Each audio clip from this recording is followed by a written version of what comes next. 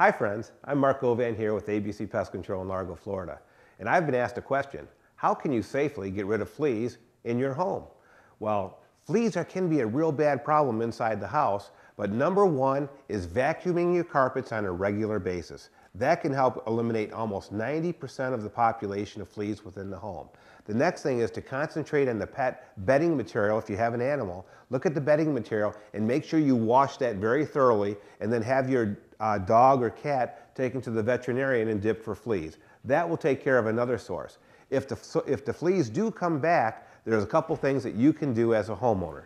Number one, using products with Precor in them Precor is a growth inhibitor for fleas. It stops the fleas from actually developing into the adult stage, which bite you.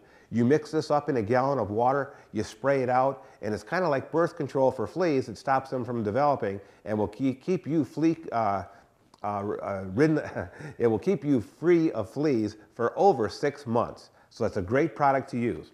Another product, if you didn't want to get that, we have a new product called Precor 2000, which actually contains Precor right here. Very, very easy to use. You just shake up the bottle, uh, open it up, and you spray it directly at the floor.